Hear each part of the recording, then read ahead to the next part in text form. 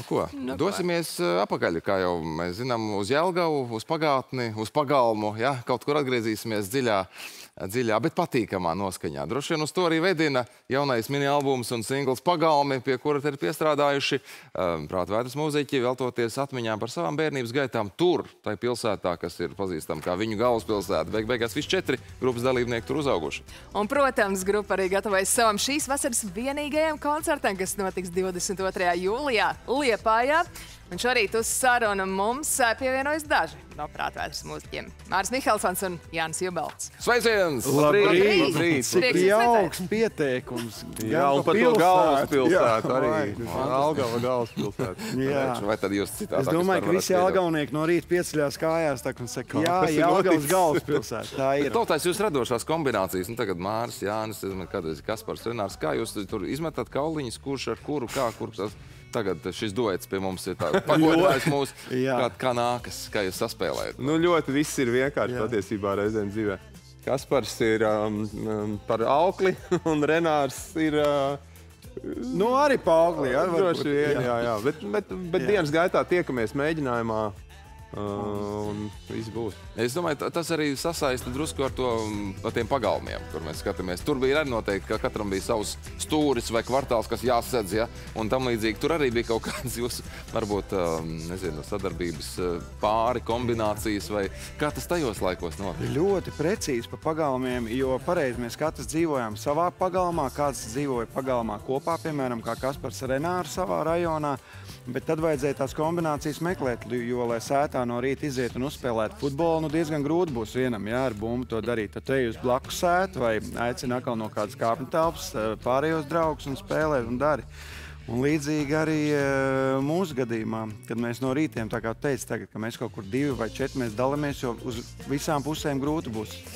Bet Izdarīt. uh, jūs pieredzē ir arī tas pagalms pret pagalmu konkurences cīņas? Tieši at, tu zini, es, es atceros šo stāstu, bet es biju par, par laimi par mazu tajā laikā Jālgavā, bet bija, bija šis te, šie grupējumi pagalms jā. pret pagalmu vai depešnieki pret metālistiem. Tur bija tādi.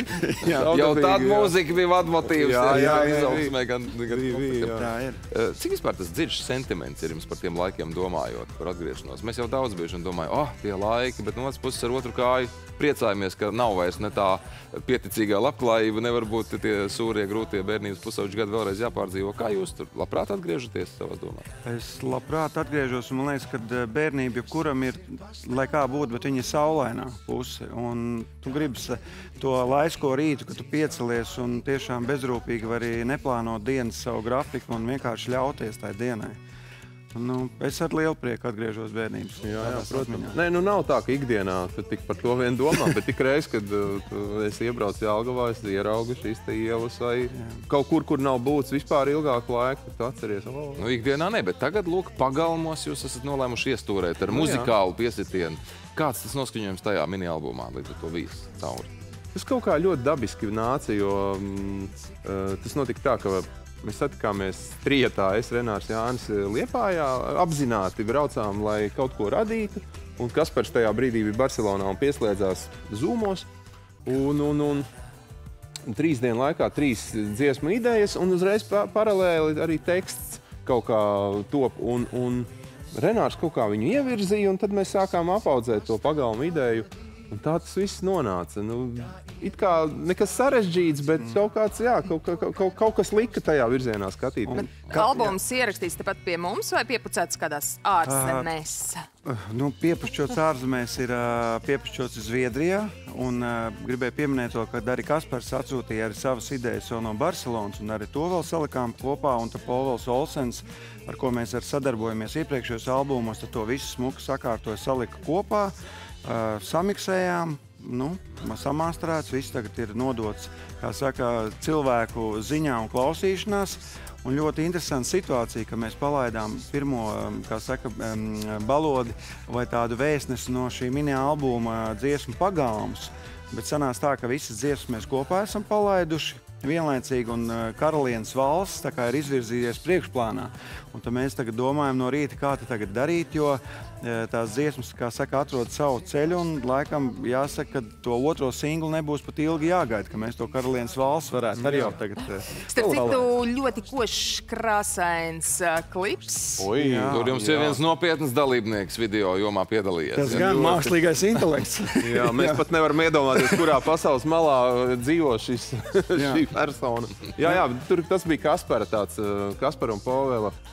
Um, savstarpēji čatu rezultātā viņi nonāca pie idejas, ka nu, vajag tos dziesmu pavadījumus, bet kā, kā darīt šoreiz? Vai filmēt kaut ko nu, it kā laika par maz, vai taisīt liriku video, un atkal it kā varbūt citādāk varētu. Nu, un tad, protams, šis te lielais bubulis, mākslīgais intelekts nāca palīgā. Nebija vienkārši, bet, bet, bet rezultāts ir ļoti, ļoti skatāms. Vai jūs paša- plānojat paeksperimentēt ar mākslīgo intelektu arī prātvētas mūzikā? Nu, Kāpēc ne? Tas ir Jā, jāmēģina. es, es pat Nē, nevaru nu, iedomāties, tā, kā tas varētu notikt. Nu, bet- tekstus, piemēram, es domāju, ka pasaulē jau daudz mēģina rakstīt dziesmu tekstus, jo galvenais ir uzdot pareizu jautājumu un mērķi, ko tu gribi sasniegt. Un tad tu skaties, kas no tā viss sanāk. Jo konkrēti runājot ar par šīm e, video lietām, kas par stāstīja, ka viņi e, mākslīgam insta, intelektam dod uzdevumu, e, lai viņš e, uztaisa kaut ko, kur ir e, četri jaunieši e, pagalmā. Un kad tas ir pagāms, un viņš visu laiku dod baložus. Un Tad viņi izlēma vārdu baložus ārā, un viņš vienalga mērķiecīgi dod šos baložus. Tā kā tā sēdz un pagalma sajūta, laikam arī mākslīgam intelektam, nu, nezinu, asociēta Pasties, vai līdzība jā, ar baložu. Jūt, jā, jūt iedomājies. Klaus, šis nav tāds eh, jūsu koncertu ābolu gads, jā, ja tā varētu Jā. teikt, bet eh, nu, tomēr tāds viens, nu, kad virs viens pēc otra. Vienu, vienu varam, vienu, Bet vienu vien abolu. Tas sulīgo nošķirsiet jā, no koka Jā. jūlijā, Liepājā. Kādam briestat, vai tas būs tāds arī, nu, augstākās eh, tehnoloģiskās raudzes, kā jūs vispār, laikam, bez tā vispār vairs nevarat, vai tāds jau drusku Nē, nē, nē, tu Mazāks. pareizi. Tu, tu, nē, nē, tu, turam pie tās augstākās. Jā. Nu, tas, tas viss, ko mēs darām, eh, ko mēs esam veikuši pagājušajā vasarā, tūrē, mēs um, pavelkam to, to, to, to tūri garāk līdz liepājai. Un, un, un, un, un pat, faktiski tāpat, bet arī ar izmaiņām, un varbūt ka vēl kaut ko vēl pat klāt liekot. Tā Kā, jā, jā. papildu koncerts. Drau, drau, draugu un pārsteigumu būs daudz? Būs arī, būs arī, jāsaka. Jā. Nu, labi, līdz vasarai noteikti vēl kaut kāds streķīts ir. Tajā laikā es pieļauju, vai nu tiksimies, vai dzirdēsim vēl kādus Jā. um, attiecīgā mini-albumu singlus. Jā, nākam. gan jau, gan jau. Jā. Es domāju, ka jā. Paldies! Paldies, Paldies paldies par jums. sajūtu, par pagalmu sajūtu un par uh, galvaspilsētu Paldies jums sajūtu. par visu jūsu ikrītu